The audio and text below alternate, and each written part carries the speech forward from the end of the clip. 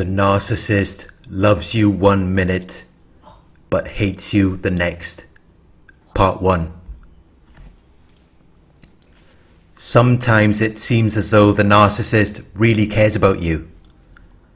It seems as though they have your best interest in mind. As though they want things to work out. But then suddenly, out of nowhere, they change and become very hateful and angry towards you.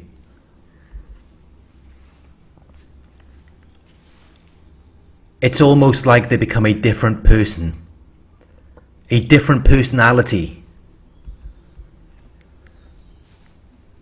The kind, caring person has suddenly disappeared, and what you are left with is someone who not only doesn't care about you, but also wants to cause you as much pain and distress as they possibly can.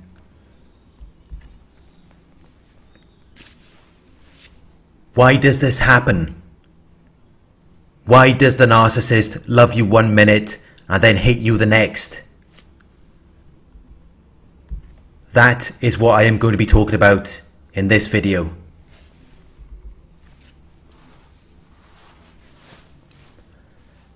Narcissists lack emotional intelligence. They lack the ability to understand, use, and manage their emotions in positive ways. This makes it difficult for them to relieve stress, communicate effectively, empathize with other people, overcome challenges, and diffuse conflict. They have difficulty with this because they lack emotional intelligence. It affects their ability to process information and come to sound decisions.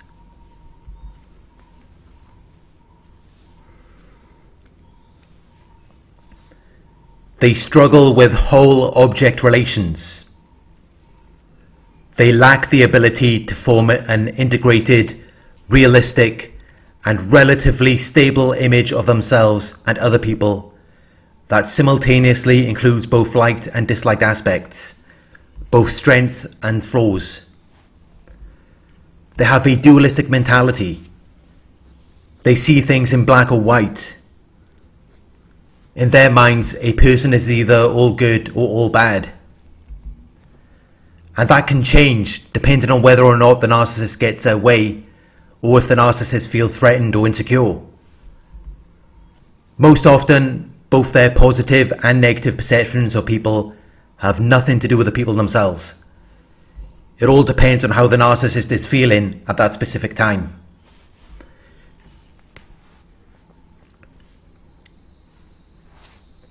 It also depends on whether the narcissist can project their imagined desirable traits onto them and use them for narcissistic supply by proxy. Though sometimes, if the narcissist sees something in another person that they want but do not have, that could cause them to feel envious and jealous and then they will view the person as all bad as a coping and defense mechanism. It triggers the narcissist to reflect on how they really feel about themselves, so they have to discredit the person and portray them as less than who they really are. They use people to regulate their emotions and boost their false sense of self-worth, self-esteem and self-importance.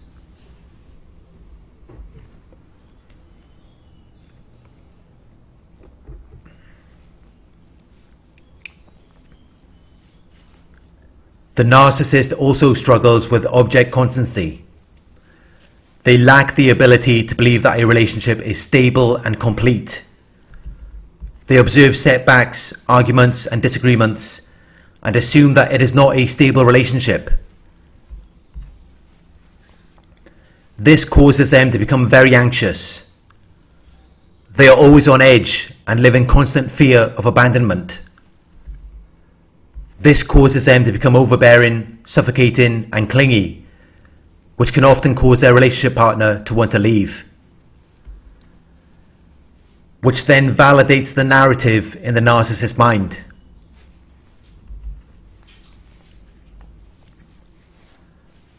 The narcissist always has to be in contact with you.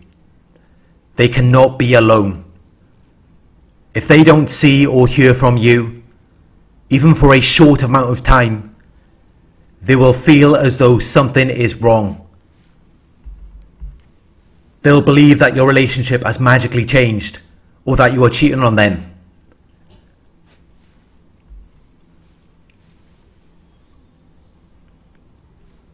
But by being overbearing, suffocating, and clingy, it drives their relationship partner away rather than bringing them closer. And because of this, the very things that they feared, the very scenarios that were going on in their heads, could eventually become a reality.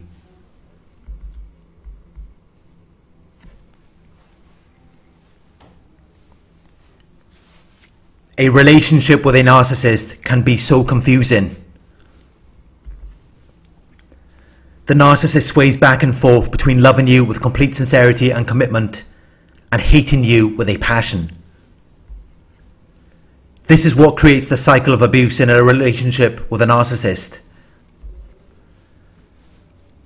This is what creates the patterns of behavior in an abusive relationship. They pulled you into their world with the false character that they displayed to you in the beginning. And by the time you figure out who you're really involved with, it's too late to separate yourself from them. Many people live in the same house as a narcissist. Or they might have married them or have children with them. all because they were tricked and lured in by the deceptive appearance or impression that the narcissist displayed to them.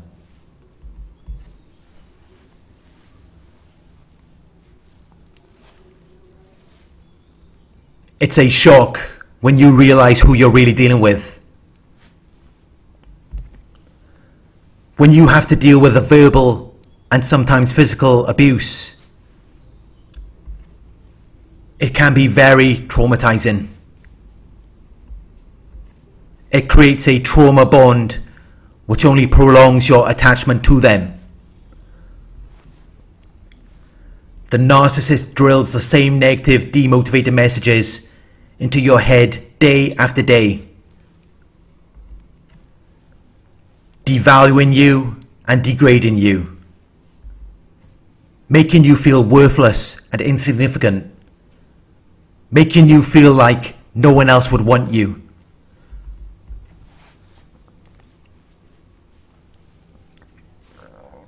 And they make you feel as though anyone else that would want you must be desperate or worthless themselves. They make you believe that you don't deserve anything better than what they are giving to you.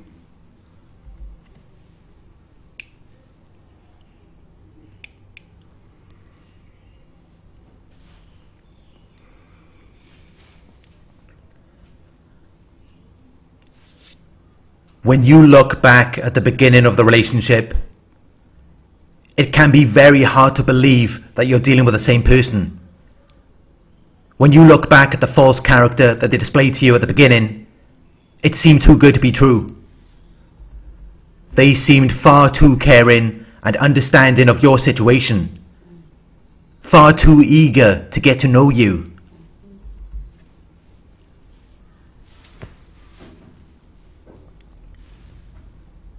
They may have attended to your needs and made you feel validated, given you money or gifts, made you feel appreciated. They might have been very affectionate towards you. They really went out of their way and made an effort to accommodate you, to fit in with your wishes or needs. They love bombed you. They wanted you to believe that the deceptive appearance or impression was real or genuine. But this was just to get you hooked on them like a drug.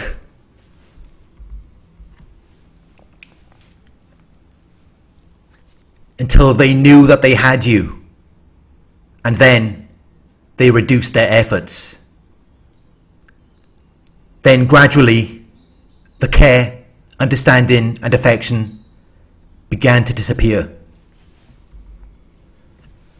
And it was replaced by opposition. Now they became opposed to everything that you were doing, everything that you were about. They started to argue and disagree with you, devalue and degrade you in an attempt to make you feel beneath them.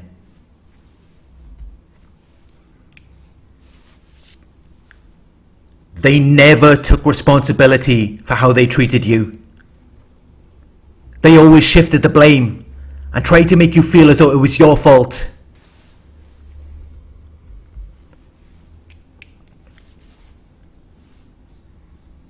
If they could get you to believe it, it made it more believable for them.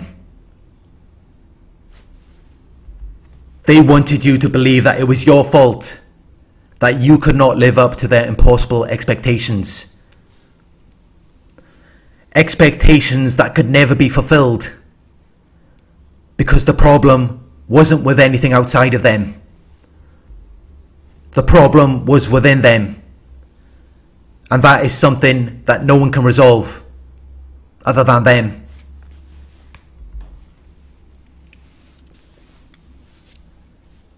They invented this delusional fantasy in their heads about who you are and how you should be when it just doesn't fit into reality. It was an impossible expectation. You cannot turn a real, living human being into the fantasy that you have created in your mind. It just doesn't work that way. You have to accept them as they are.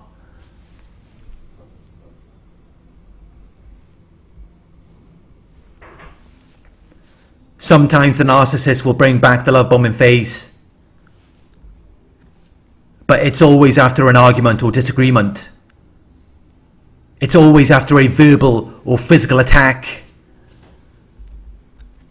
After they have called you all sorts of names or physically attacked you. Then they might give you a hug or tell you that they love you. And then everything appears to go back to normal. It's almost like when you first met them. But this is just to keep you locked in. This is to stop you from leaving. It has nothing to do with them loving or caring for you. They do not love you. They do not care for you. Everything they do revolves around themselves and their own needs. They are self absorbed and lack empathy. However, they choose to act is designed to get them whatever they need in that moment. So, if they have to bring back the love bombing after they have attacked you, they will do that. And that is most often what they will do following the abuse. Because they already know that you're going to want to run away from them. So they have to find a way to keep you around. They have to find a way to keep you locked in. And they do that by bringing back the love bombing and making you feel valued and appreciated again. Making you feel as though there is no reason for you to leave. This continues for some time. You feel like everything has gone back to normal until there is another argument or disagreement, another verbal or physical attack, and yet again you are made to feel beneath them. The narcissist doesn't want to resolve anything. They do not have your best interest in mind. You will never have a healthy, honest relationship with them, and they will never have one with anyone. And that wasn't even what they were looking for when they targeted you. They needed you to function. They needed someone to beat down so that they could elevate themselves. By regulating their emotions and boosting their false sense of self worth, self esteem, and self importance. That's why they always play the victim. Every fight you have with them, they will always play the victim. Even if you justifiably question or confront them on something hurtful they've said or done to you, they won't acknowledge what they've done wrong. They will instead try to divert your attention to something that you've said or done, whether real or imagined.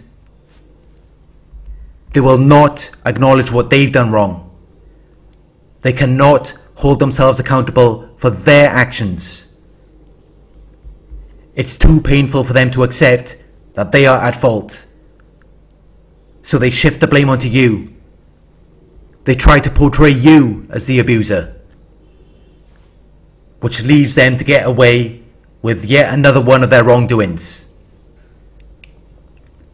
They never learn from their faults or mistakes because they never acknowledge them which means that they never grow or develop emotionally.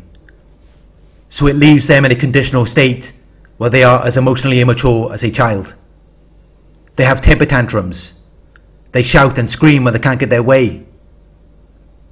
Yet they do not do anything to change their own behaviour. They expect you to change to accommodate them.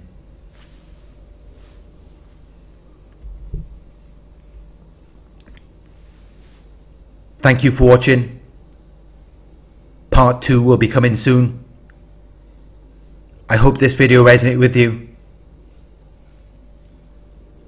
Please like, comment, share and subscribe.